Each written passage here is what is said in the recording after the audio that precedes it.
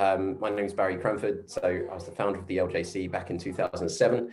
Uh, also run RecWorks, which is a recruitment company.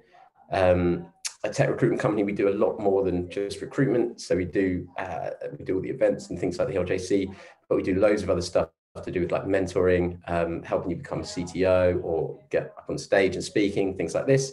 Um, if anyone wants to hear any more about it, um, there's a link. Thanks, Tom.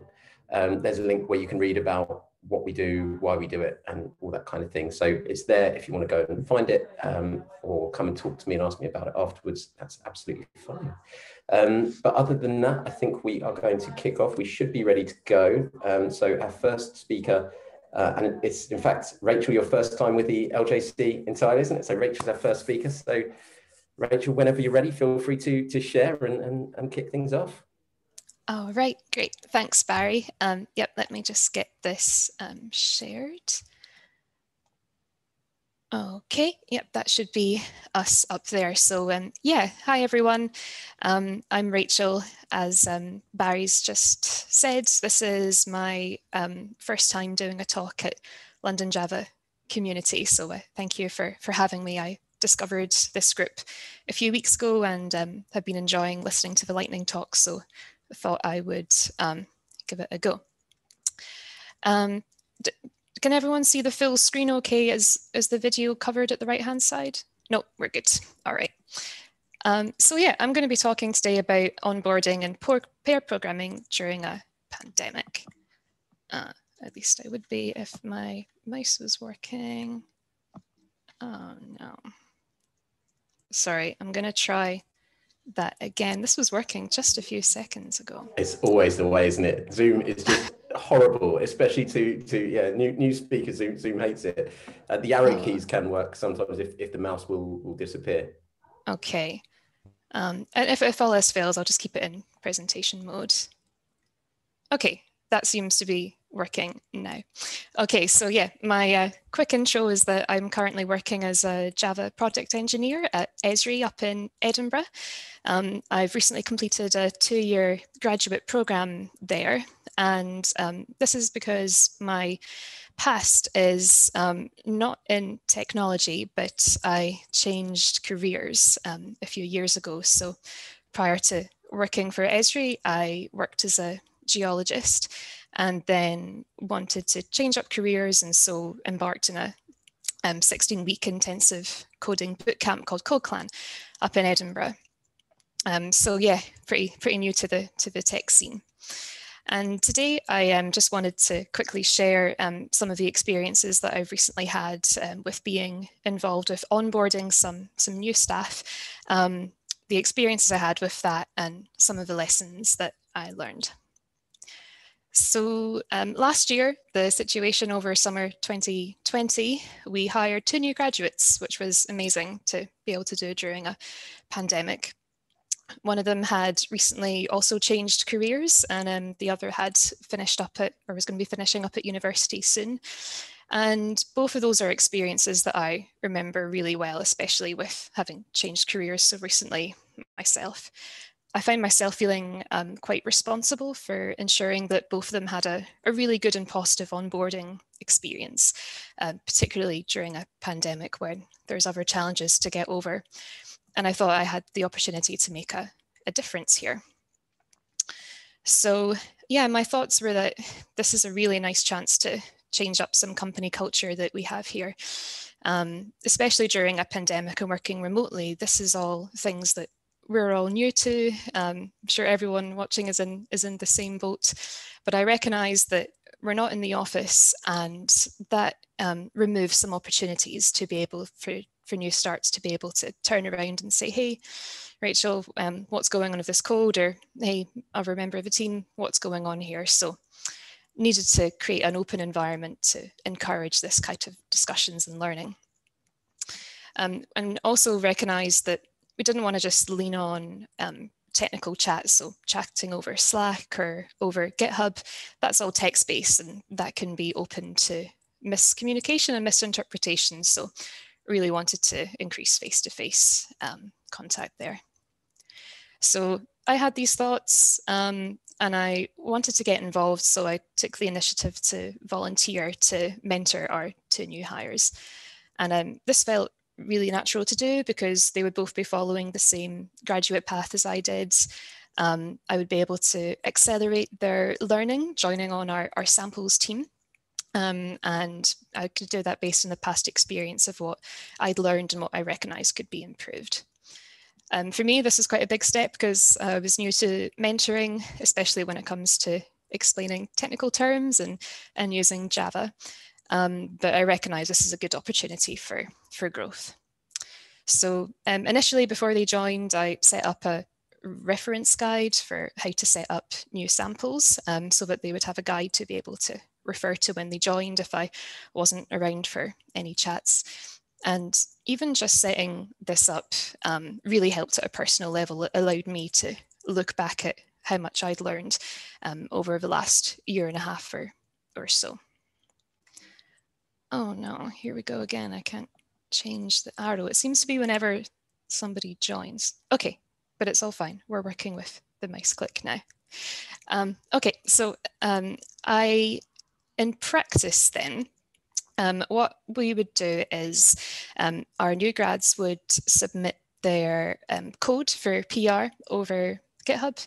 I would review and um, take a look for any kind of places that there could be room for improvement. So looking for examples of repeated code, um, making sure that we are being consistent with our samples template, um, all the things that I remember being pulled up for when I first joined, um, along with some of the additional things I'd learned going through the graduate scheme myself. I would add these review comments to the PR for later discussion, and this would allow them to be able to have a chance to look over um, my comments first of all to then prepare for a later person-to-person discussion. We would then actually hold um, trio programming sessions. So it was myself and both of the grads, and they would take it in turns to um, share the code that they had written. I would then talk through some of the room for improvement.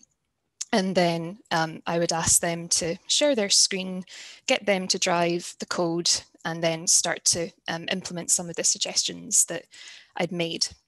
And this is really great. This opened up a good discussion panel allowed there to be room and space for questions um, and we could work it out together.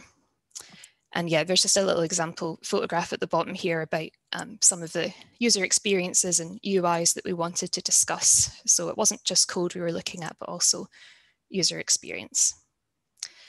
So um, the outcomes, what did we learn from a, from a team perspective? Um, this is a great experience because we all learned. Um, it wasn't just the new grads learning about coding and about Esri practices. Um, it was also myself learning. So um, they would ask really good questions. I would recognize gaps in my knowledge and be able to enhance my skills and knowledge there as well as enhancing theirs. So we could identify as a team further on the job training sessions it was also a really nice way to build team trust. Um, and it's great because now, six or seven months later, communication is now both ways. So we can trust each other to um, ask questions and not worry about anything being too silly. And we also have this shared product ownership and responsibility along with a, a really nice, strong team bond where we can just chat about anything, um, including coffee and one of the new team's members' puppies, which um, is just really, really nice on a personal level, um, I have learned that individually, no matter what your level is within the company, it is possible to individually make positive cultural change. And that feels quite empowering to recognize that you've made a difference on somebody's learning and development. You realize how far you've come in your own journey, um, and it keeps imposter syndrome at bay. And that, yeah, confidence can be grown from many avenues not just technical ability, but um, also being able to help and mentor and support teams. And yeah, with that, I think I might have already gone over a little bit. Um, I admit I'm an introvert, and um, again, I realize I can talk for quite a long time. So, on that note, I am going to finish that there, and uh, thank you all for for listening. Brilliant. Thank you very much, Rachael. Appreciate that. Um, yeah, it's it's so interesting. The mentoring space is is something we've had so much. Um, we've done uh, like quite a bit in, and everyone always says like you sign up to be a mentor, but you end up learning more yourself and learning all this stuff yourself. So yeah, it's interesting to hear hear that at the end. Um, does anyone have any questions for for Rachael? Carly, I can see you're nodding away there. I did have one actually. Um, I wanted to ask if there was any tools in particular you found helpful for like the collaboration portion of things, just because I've had a very similar experience with a new grad joining recently. And one of the things that we found was we just have to kind of get all on a Zoom call and do kind of like a, a trio review or a mob review, and that was really helpful. But I wondered if you had any other tools that you found useful. Cool. Yeah, we're um we're, we're pretty similar. We were just using Teams for the most part and and screen sharing.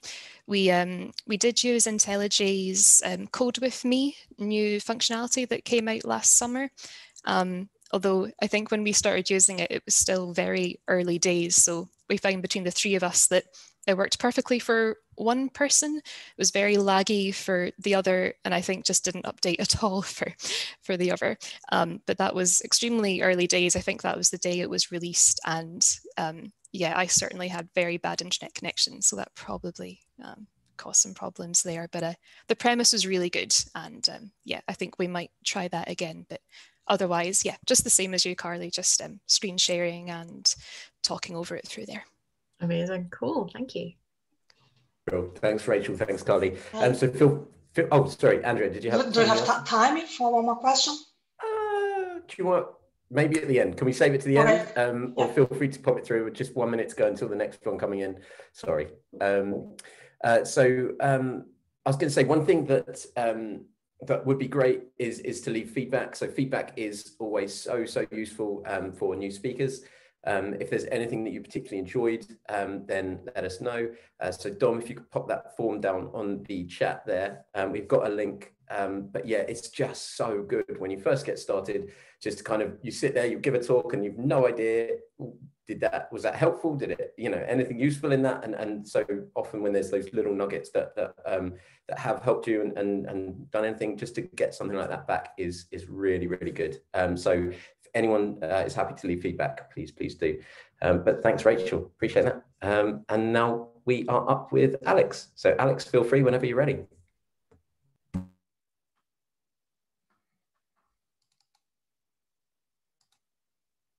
Can everybody see that?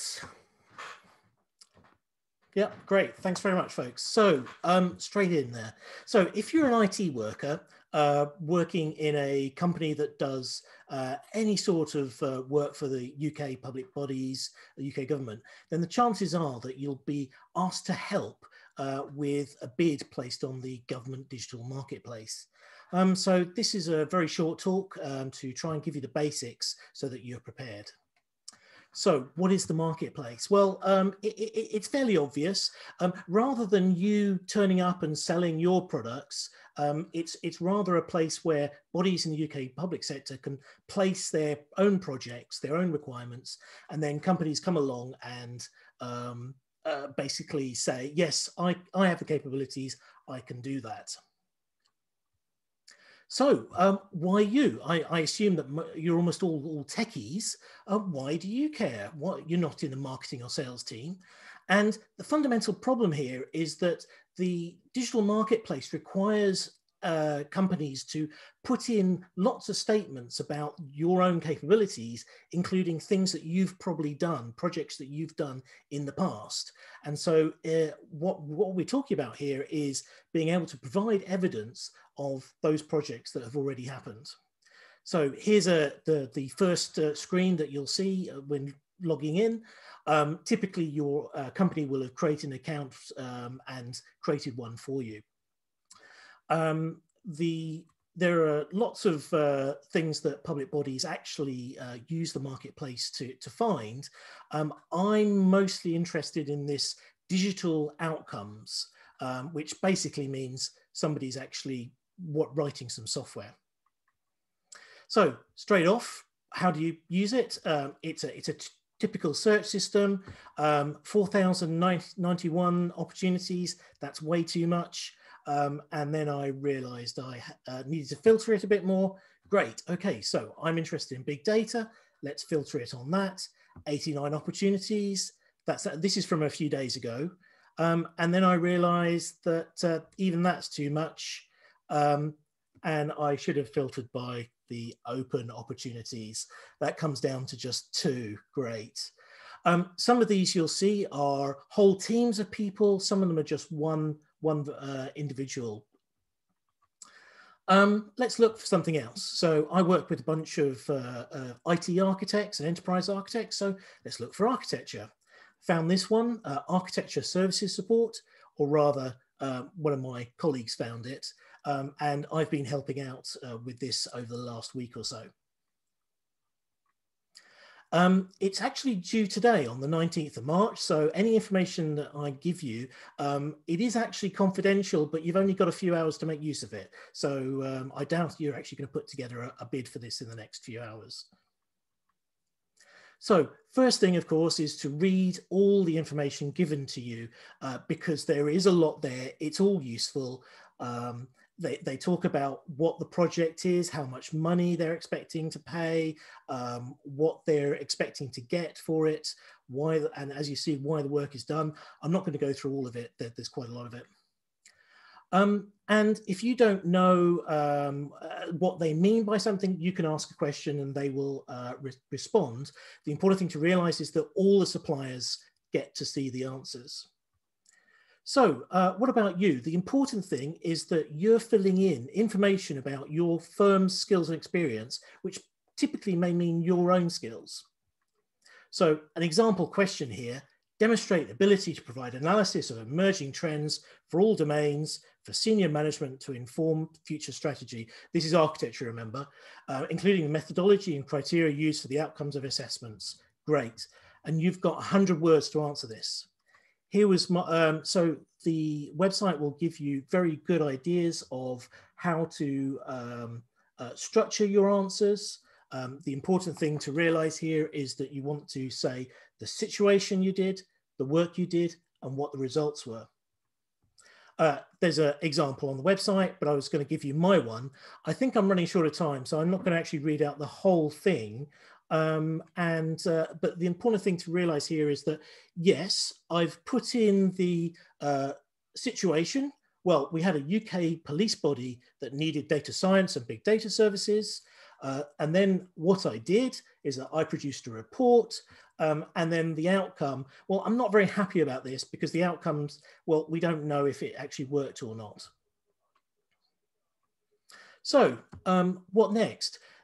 Starting uh, in this particular uh, project, there's about 40, 40 plus people, organizations actually applying for this work. And um, typically there'll be a short list later on where there's further processes for do it, doing uh, further proposals. And uh, that's a bit more flexible and you may or may not be involved in that. So um, here's what's the final message. It's be prepared. Um, I would suggest that you might go back to every project you've done and think about how would you write that project in 100 words? What was the situation? What did you do? What were the results? And, and importantly, how were they measured? So thank you very much. That's my talk today. Brilliant. Thanks, Alex. Um, again, your talks are always so so different, so varied, and and and work with slides so so. I don't want to bore well. people. I am. Um, No, no, no it's, it's awesome. It's good. It's it's um it's a good range. I think it's it's so such a good message. Like obviously coming from recruitment background, we we tend to see when people first start looking for work, they don't get every job that they apply for, and then after a few interviews, they get in the habit of it and they get become used to talking about their projects and, and familiar with how to get that information. It's trying to show everything that you know, isn't it? It's, it's very difficult to do. Um, Absolutely, and and I, I hope that um, the people listening today are people who are keen to actually write about the right stuff. So hopefully this is perhaps more relevant than than straight coders. Um, hmm. But we, we, shall see. Does uh, Does anyone have any any questions on that for Alex? Uh, feel free to just. Hi, I have. Yep. Hello, Andrea. Hi, how are you? Great talk. Thank you, Alex. It's funny because I, I have been thinking about this, you know, um, how, how to put in words my, my, accomplishments, you know, because sometimes it's hard. Sometimes I have the impression like have I ever worked in something important that I can talk about and explain?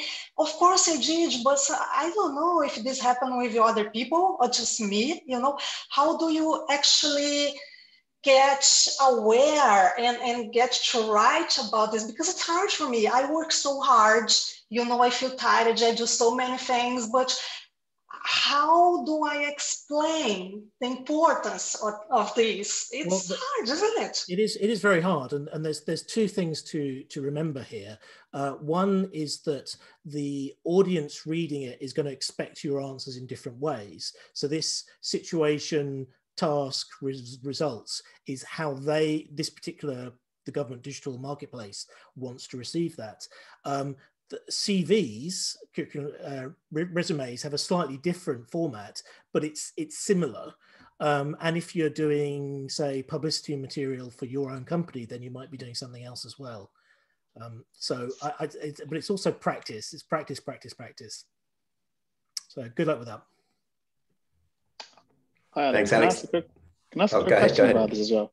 Um, so, I mean, do they like have like um or is there like an opportunity for somebody who's just starting out you know to maybe to um, have like um, a smaller project or something which is small to get your you know to start out with or is it usually like these big massive projects or which some of us might feel like um, oh can't really do that that's a very good question. Um, there is a certain amount of hoops you've got to go through to in order to be registered in the first place, and I don't know all the details of that. So if you are perhaps a one-person company, it may be too too much hassle for you to do that.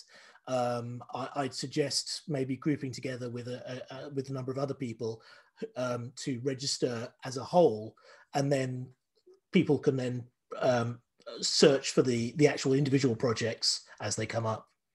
Don't know if that don't know if that helps. Yeah, that's thanks. Okay, Barry. yeah, that's it. Thank you very much. Thank thanks, Alex, uh, and thanks, George and Andrea. Um, so, as Dom's asked there, if anyone is happy to share feedback, please do. I know you've had loads coming through already, so thank you very much for that. Uh, so, next up, we have um, a guy from last week, Tom Cools. Tom, are you out there? Yes. Welcome back. Hello. My camera is working this time, so should be better than last time. Uh, can you guys hear me? Okay, great. Then I'll just start. So hello, everyone. I'm Tom. I'm from Belgium. Uh, I am very bad at time zones, as evident by last time, uh, but this time I'm on time. So I wanted to share something with you for real this time. So uh, thanks, everyone, for coming back if you saw me last time. Uh, what you should know about me is that I'm a big gamer. I still am. Uh, that's actually the reason why I got into programming to develop games. Turns out to be a bit more difficult than I expected, but I learned to program in the end. So uh, recently I've decided to build my own kind of little games. So what I've been working on is kind of this one. It's sort of a Flappy Bird clone where if you click, it, it makes a little jump and you have gravity that pulls it down and so on. Is there anyone I've asked this question last time. Is there anyone who knows who this little figure is? Feel free to uh, just unmute yourself and yell it out if you know. It's Totoro. It's a Totoro. Thank you. Finally, someone. Uh, so it's a, a Totoro. And while I was building this game, well, after a while, I got like I want to do the next thing. I've learned how to make like a basic game in in, in JavaScript. It's not much of a game, but I could turn this into a game. And then I was thinking, how can I improve this? And then I thought, but hey, uh, I have this. I have a big fluffy Totoro right here. So then I was thinking, wouldn't it be cool if I could actually control the game using my real plush animal? And turns out that vision and machine learning to do those kind of things is actually pretty difficult. You need a lot of test files and so on. But then I found this uh, tool, the teachable machine, and I'll actually zoom out because I'm already, I'm kind of trapped in a website now, you see, stuck. Uh, but what the teachable machine actually does is it makes it really easy for you to start uh, building a, a vision project with machine learning. So first I needed to figure out how can I make this plush animal like interact with what I have in the, in the game because basically all it does is, is do a jump. And I was thinking, you know, it, it, it doesn't really look like a bird, but maybe the best way to, to emulate something is, is to make them flap. See, arms open, arms closed. So the transition from open arms to closed arms, that could be a flap and then it could jump up in my game. So that actually means that I need to be able to recognize two things. I need to be able to recognize open arms and I need to be uh, able to recognize closed arms. So that's what we're going to do here. So the teachable machine is actually uh, just a simple way to create a machine learning model. So it means I need a class with open arms and I need a class with closed arms. So these are the two types of states that I want to recognize. And now I need to give it some examples. So the machine actually knows what do I mean when I say it's open and what do I mean when I say it's closed. So uh, time for a recording session. I hope my buddy's up for it today. So I'm just gonna record open arms for six seconds. Make it spin a bit. So it recognizes different things. There. So now I have a sample set of 151 images that he created in six seconds to try to recognize open arms. Let's do the same with closed arms. So, okay, recording six seconds. Try to get some diversity by shaking him around, turning a bit. There. So now I have the two sets of, of test images, and now I can train the model. So now it will use those images. My, the camera will freeze here, don't worry about it. I can use these two image sets to actually train and prepare a machine learning model. Uh, this all happens in JavaScript in the browser, so I don't actually need to spin up Python. I can just work with a simple JavaScript. It's training, training, training. You know how machine learning normally takes like days or hours to train a model? Well, da, da, da, we're there. So hi, I'm back.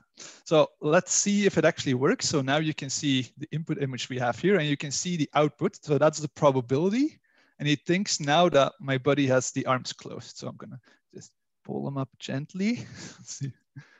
And you can see it starts reacting and hopefully oh, there we go. Up, closed, open, closed, open. It's not perfect, but it's good enough for a first trial run.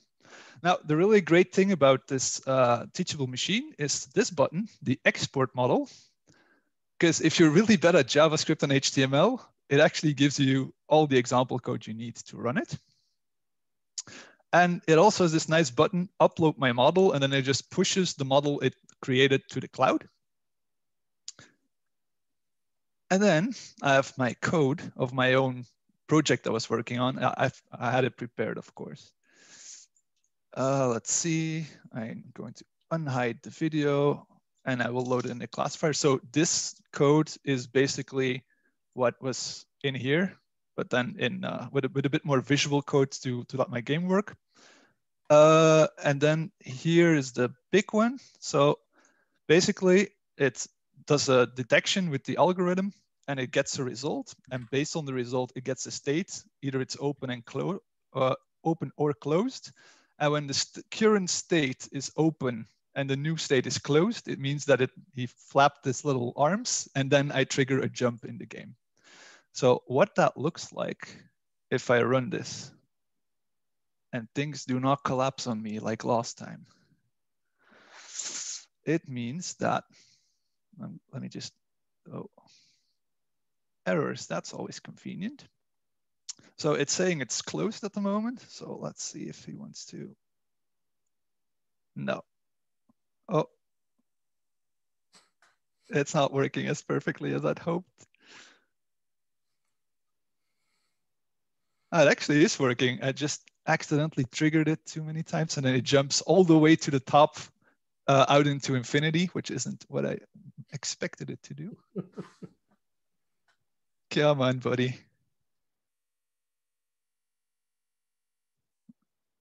Ignore the errors. It's all fine. So closed. Let's see.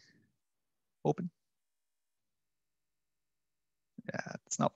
Uh, luckily, uh, I have a video for you to see it more clearly. So when it when you train it a bit better, it actually looks like this.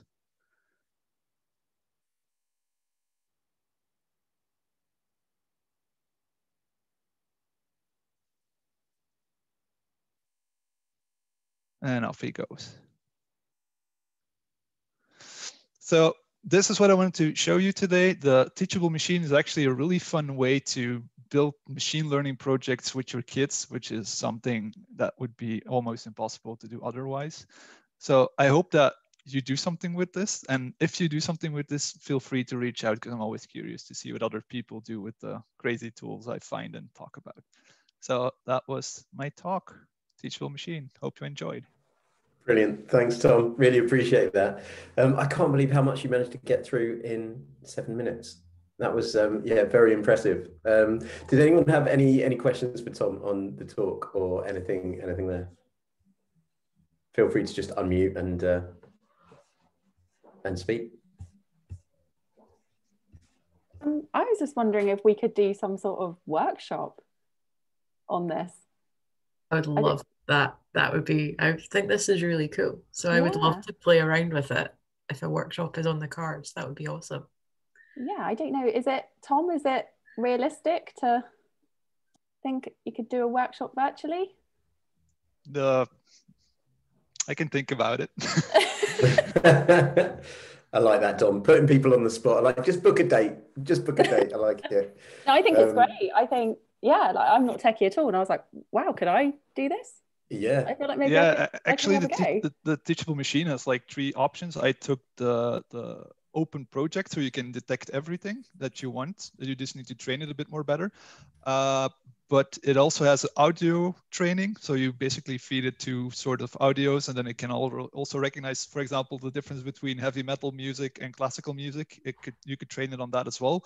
And the third one is actually a pose project. So it actually detects where your head is, where your shoulders are, how you move, and then you can uh, do detections based on that. So we could, as a workshop, build a fitness app that automatically checks if you're doing your squats correctly or count your push-ups or or something more sedimentary for the IT people. Sounds awesome though. Yeah, Come, yeah, let's let's pick that up. That does sound like something we should be doing. That looked right. a lot of fun. I'll Thanks, drop Tom. the link to the repo with all the code in the in the chat. Brilliant. Brilliant. Thank you very much. Okay, Pavel, are you there? Are you out there? Hi there. Yeah, yeah, just like my screen. Uh, yeah. Very cool. good timing. okay, cool. Thanks for joining us then. And I will I'll hand over to you. So you're you're good to go whenever you're ready. Yeah. Okay. Uh, hello. I um I'm going to use this TextMate to do my presentation. Um, um, so hi, I'm Paul Badenski, and I'm a CTO at startup Pricey Monkey. And if you want to reach me, reach out um, for anything after or about this talk, please ping me on this email. Um, so it's going to be a talk about exceptions. Um, and I used to be a, I'm a mostly JavaScript for the past five years. I used to be a Java programmer for many years. And so I decided to go with a slightly cheeky uh, title. Um, uh, I'm a JavaScript programmer and I don't use exceptions. Um, so what's um, what's wrong with exceptions? So there's um, there's really two things why why I don't like them. Um, first of all, there are really a faulty construct. Um, and the if you think about it, exceptions are really a go-to equivalent.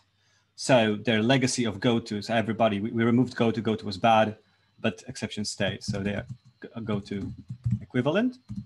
Um, so basically that allows you to jump around the stack and go from teleport from one place of the code to another. Um, and that's that's not good, obviously, as we all know.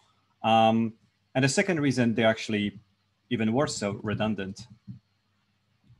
So let me just cover through these two points now. So first of all, why do I think they're a faulty construct? I think this should be relatively um, already know to, to some people, but um, I can write things like this in my code. And I'll be using a uh, some sort of um, a monster between Java and JavaScript um, as a syntax.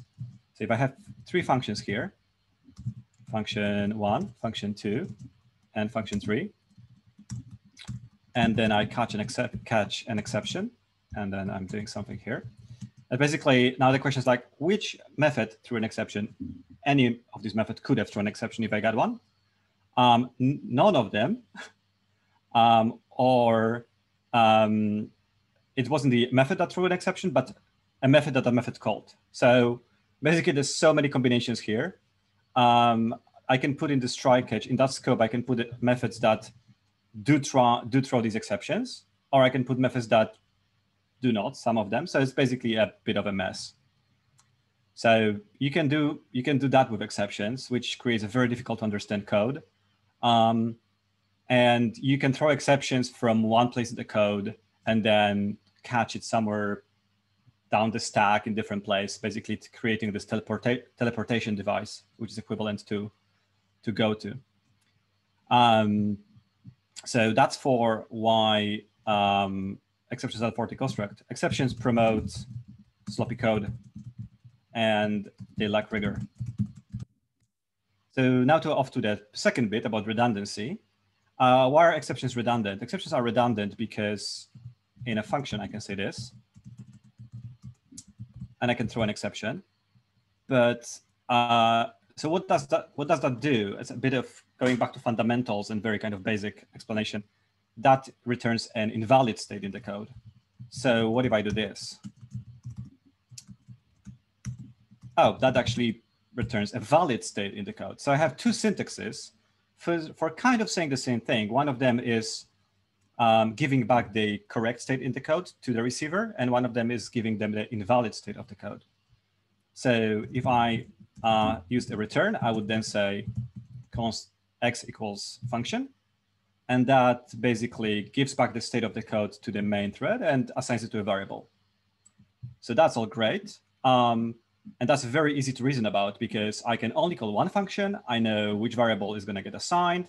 There's no ambiguity here. And you can see that the relaxation of these rules for a try catch basically creates this anybody can do anything a wild, wild, wild west. So what do functional programming programmers do? So what functional programmers do, they use the simpler construct, which is return, and model both behaviors. So they would do something like this. If successful, return, I'm going to be using a bit of a cryptic thing here to, to invite you to uh, research and Google about this more. This is kind of, I'm, I'm going to the point where like, I'm going to say, this is outside of the part of the presentation. If you not know more, um, um, Google. Um, so if it's successful, I return a successful type.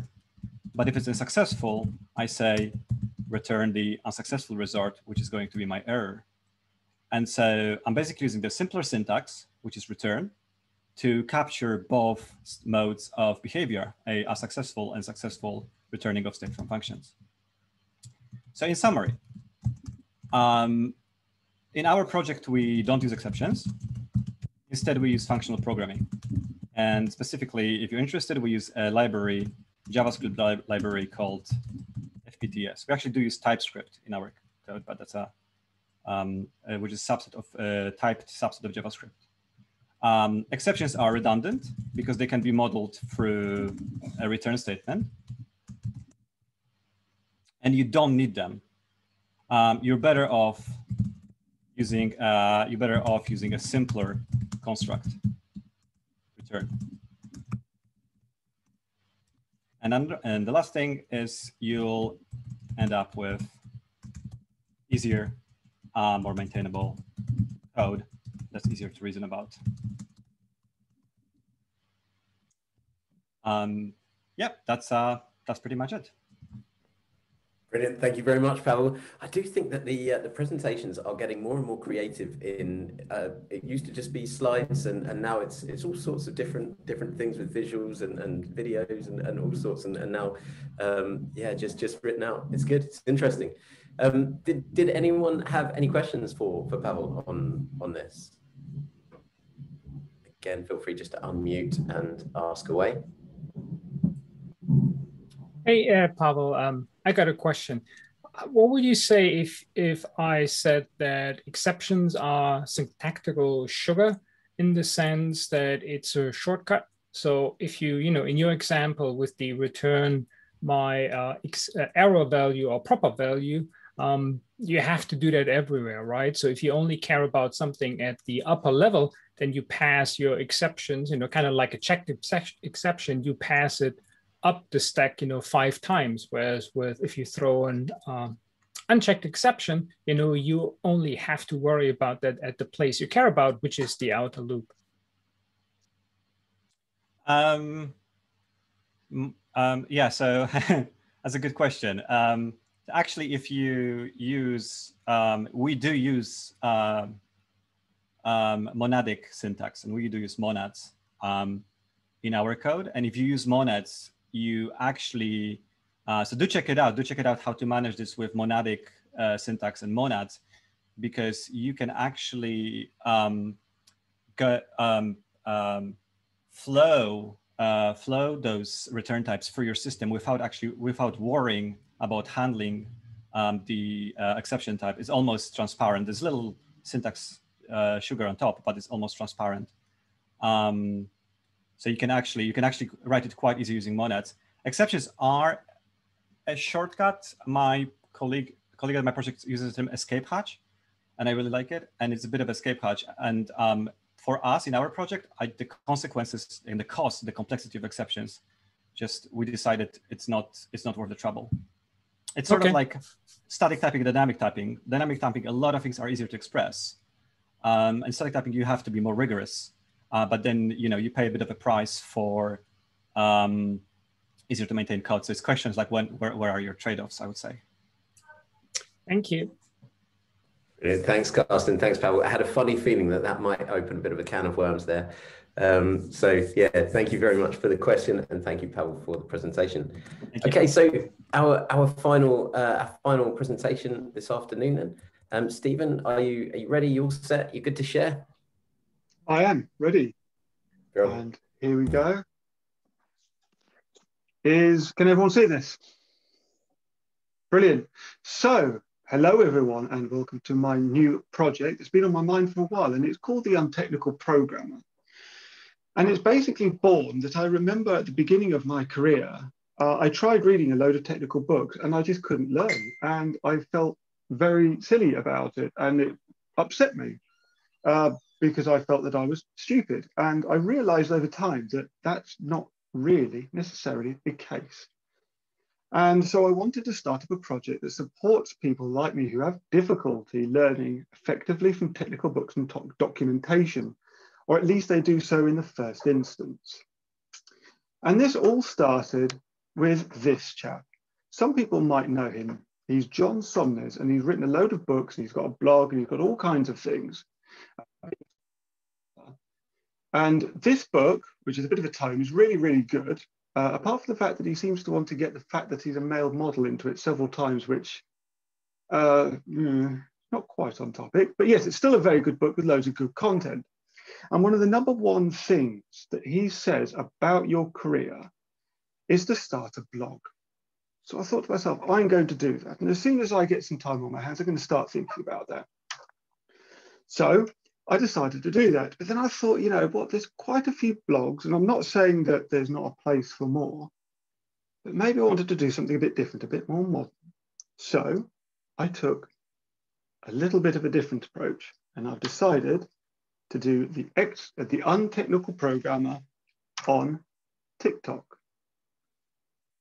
And this is often because people's attention spans are not necessarily several minutes long. It's something maybe that people have got to learn. It's people it's something that people have got to exercise those muscles. And for things to be approachable, they need a really quick, easy way of just understanding the basics of what something is, or whether it's big or whether it's small. And maybe they want some encouragement along the line as well. And there's absolutely nothing wrong with that.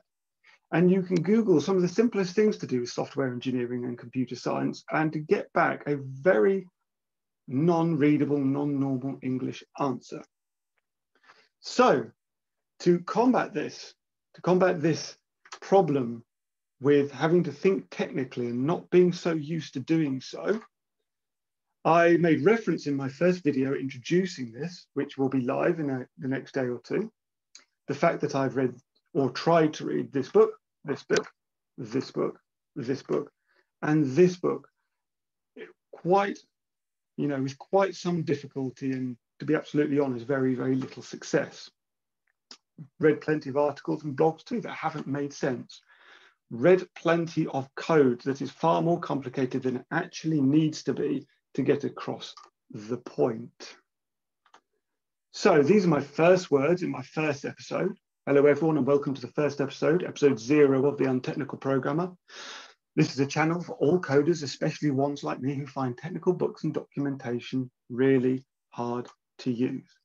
My next episode after that is going to be why Docker is useful. And my next after that is why software development is hard, and specifically how to deal with some of the odd effects that come across when you have such a huge volume of stuff to learn. And it's not just the amount of volume, it's the stuff that it is impossible for a newbie to prioritize what they need to remember and what they just need to understand. And that is a big, big difference. So I will leave my short talk introducing my niche projects with the last words from my first video. And that is, don't give up, don't lose heart, and ignore anyone that tells or suggests you have to learn like them. I hope I can help. And thank you very much, everyone. That is my talk. Brilliant. Thanks, Stephen. Not at all what I was expecting, but but yeah, very interesting. Um, does uh, does anyone have any questions for for Stephen? Or are you all just going to go and sign up for the untechnical programmer and find the answers there? I'm tempted to get TikTok just so I can see what the video is. um, does, does anyone else do, do you do you have TikTok at the moment? Carl? Oh, you say you're, you're no, I don't. I don't have it at the moment. Um, but I've been tempted because there's a couple of people doing stuff on TikTok, and I was actually having a good chat with Helen a couple of weeks ago about different content types, and that was a an idea that she had. So I'm very interested to see what Stephen has done. I guess Stephen, do you have any tips on if someone was going to do something similar in terms of duration or types of content that you found might be more suitable compared to for TikTok compared to like a blog, for example? To be absolutely honest, I'm very new to this. I mean, I had a stress last night because I couldn't work out the best way to add subtitles, and things are a little bit late because I thought, oh, I better add subtitles. So this isn't quite launched yet, uh, but it will be over the next couple of days. But I wouldn't be able to offer a huge amount of advice because I'm really, really new to it. Um, you can never say as much as you want to in a minute, but in a way, that's a good thing. Cool. So you'll be coming back to tell us all about what worked and how it went then? Possibly. Yeah, that'd be lovely. That'd be good. I'd love to hear about it. Mark, thank uh, Mark. Um, I can see you've, you've yeah. got your um, your your hand up as well. And um, did you do you have something to add there? Yeah, I was just wondering, um, have you ever come across any documentation that you found particularly approachable that just worked for you and you were able to uh, look at a new API and, you know, it just sort of, it just made sense and you were able to make use of it. I just wondered what you thought were the qualities of good documentation. Well, uh, it's a bit of a tricky thing. If we're talking about all the resources that are available, the things that I found most useful is a tutorial maker called Mosh Hamedani who works under the, the title Code with Mosh. I find him particularly useful. Um, mm. I will say that there's a particular caveat that I've got that there's some great platforms out there like the free Code Camp courses and Codecademy, which are really good in that they're interactive. But I've experienced, and I've heard from an awful lot of people that I've tutored or mentored, that whilst they're very approachable, the information tends to go out of your head really quickly. So it's always really good to apply it in the context of doing a project. And I, I think that applies to most people. Um, uh, but a specific documentation, not particularly. But uh, that doesn't mean that, that it's all bad. It's just that none comes immediately to mind. Okay, yeah, no, that's that's interesting. Yeah, because I'm sort of very much involved with um, the creation of technical documentation for my product, and I often wonder to myself, how how easy is that to read? Is that does that really help people? But um, yeah, okay, thank you. Well, I'm I'm quite up. If you want to connect, Mark, I'm quite up for contributing or helping. I might contact uh, Alex, you. I Thank you. you had, please, please do, Mark. Alex, you had your hand up as well? Yeah, Stephen. Uh, hopefully, this is a quick question. Um, so, I, have also been thinking about doing um, videos um, explaining concepts that are very short, but I kind of thought of doing it for YouTube uh, because I think more of my audience would be on YouTube. Did you did you consider YouTube and reject it for some reason, or? Um... Funnily enough, I went I went straight because I use TikTok for. I'm, I'm not going to say non-typical because it's a it's a very very wide-ranging platform, but I think TikTok is most famous for quite casual things like dancing and following trends and stuff like that.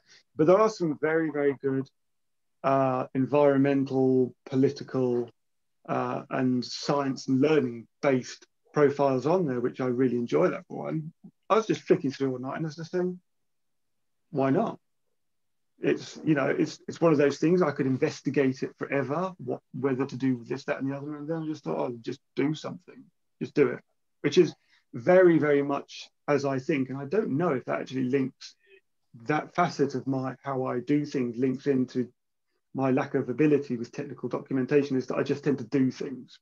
I don't think about them much. I just do them, and then, and I think that I think that's quite nice for software development because software development isn't a do it once and it has to work type of thing. You can go back constantly to your code to work on it. So, but sorry to answer your question, I digressed.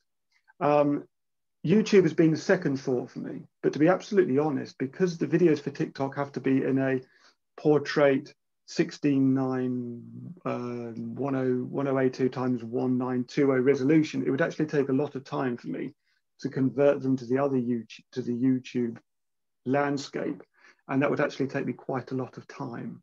There's probably a quick way to do it. So anyway, any video editors, please do tell me if there's a very quick converter. Um, I think it may be something for the future, certainly. But I'm, I'm happy to talk about that with you at any time. Cheers. Thanks very much. You got to watch you don't go viral now, Stephen. Oh, don't don't say that to me, Barry. I'm not. I'm not even thinking about that. It's just terrifying. That'd be interesting. It'd be interesting. I'm not. I'm not. I obviously know a lot of people that use TikTok, but I don't think I've, I've seen anyone that's creating TikTok content or that's um, uh, that's gone crazy with it. So yeah, have we got anyone else out there that's on here today um, that that's got experience that's, that's putting stuff out there on TikTok? No. No. Oh, you have to, as uh, as I said, you have to come back and, and let us know how um, how it goes. Um, Will do. Yeah. And um, if once it's up and running, I can distribute the link on the rec people that listen today. That would be fantastic. I'm sorry I couldn't stick a link up on screen today, but you know, life and work got in the way. um, speaking of which, actually, if if everyone that has given a, a talk wants to um, have wants to is open to being contacted afterwards, feel free to put your, your details in the chat. Um, and people can either look you up on LinkedIn or Twitter or, um, or, or, wherever you, um, you like to be contacted. Um, there's often people sitting there with questions that they didn't get around to asking. Um, and it's always, uh, it's always good to just to have that right. If I'm, if, if you've, if you've scratched a bit of an itch there, but, but I want to know more, where, where can I go? What should I read next? What blog post should I, should I look at next? Um, so yeah, thank you. Just seeing those all coming through. Um, so what comes next? So is anybody out there that has watched, is anyone interested in potentially speaking at an upcoming uh, Lightning Talks event? Um, Mark, I can see on screen, I know you talked about you, you've got a project there. Is it, is it something you might like to do, do you think? Um, Mark Baird, I'm looking at you. Not not yet. I may I may not come yet. back to you when it's in a in a fit in a fitter state for presenting. of course, of course. Well, we're open, always open. Anything that you've got to say, you can see from um, from the presentations today. Um, there is a true range in in in what people talk about, and every week we get get things all over the spectrum. Um, so so yeah. Any anybody else? Anybody that that might want to talk at, at a future event?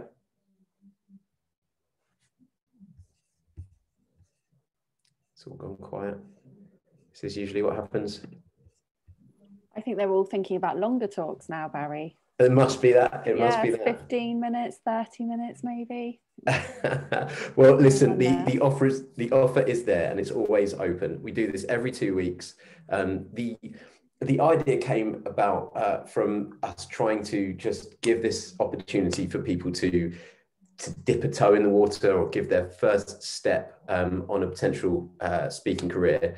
Um, like as, as said at the beginning, for anybody that was here um, with Robert in the, in the, early days, like, like 12, 13 years ago, we, we've seen so many speakers now come through, um, give their first presentation at, at, one of our Lightning Talks events or at an LJC event or at the Open Conference, and then go on to have just a ridiculous speaking career. Um, many of the people that are now keynoting some of the Java conferences gave initial presentations as a lightning talk. We've interviewed loads of them, so we can share a lot of those interviews if, if anyone's interested. And everyone, like bar none, I think, has been exceptionally nervous, felt that they don't have much to talk about, usually been pushed hard into giving their first presentation. Um, and and have seen so many benefits in in connecting with other people that are um, that are interested in the similar kind of things. Um, obviously there's there's career benefits and, and they'll get job offers and, and, and things like that. Um, people might see you talking at an event and want to work at your company. So it's recruitment benefits. There's all sorts of benefits from, from getting involved. Um, so we're here. If anybody wants to get involved, speak to Dom, speak to myself. You find either of us on LinkedIn or, or any one of the 200 emails you've probably already had this week from us. Um, so come and see us and we'd love to get you here. Um, yeah, anything else, Dom, that we need to say? Yeah, there isn't a lightning talks in two weeks because it's Good Friday. So it will be on the 9th instead, the week after, say three week gap this time. But okay. otherwise, it'll be back to normal on the 9th. Bro. Well, thank you everyone for for tuning in. Then thank you especially to our speakers for uh, for giving it a shot. And we'll see you then. We'll see you at the next one. Bye. Bye everyone.